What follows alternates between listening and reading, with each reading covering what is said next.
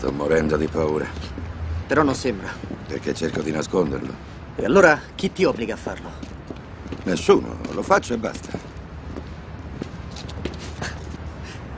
Sai, sai una cosa? Vivere con te non è stato facile. La gente vede me e pensa subito a te.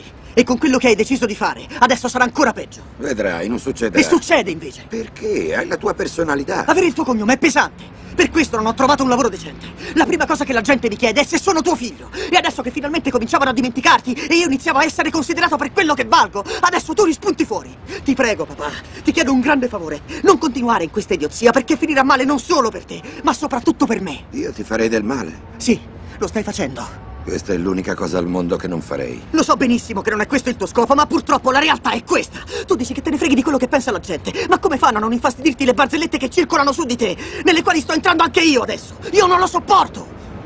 Non è giusto!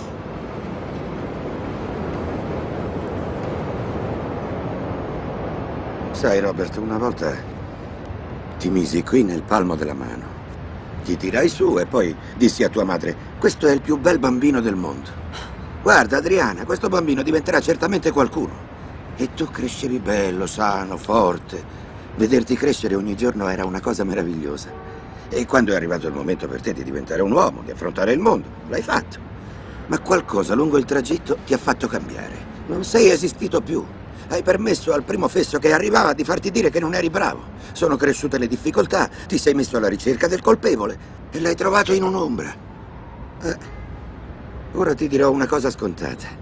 Guarda che il mondo non è tutto rose e fiori, è davvero un postaccio misero e sporco, e per quanto forte tu possa essere, se glielo permetti, ti mette in ginocchio e ti lascia senza niente per sempre. Né io, né tu, nessuno può colpire duro come fa la vita.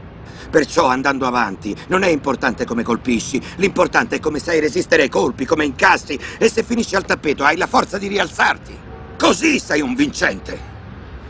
E se credi di essere forte, lo devi dimostrare che sei forte, perché un uomo vince solo se sa resistere. Non se ne va in giro a puntare il dito contro chi non c'entra, accusando prima questo o poi quell'altro di quanto sbaglia.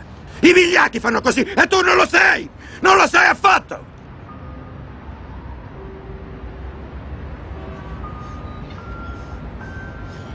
Comunque io ti vorrò sempre bene, Robert. Non può essere altrimenti. Tu sei mio figlio, sei il mio sangue.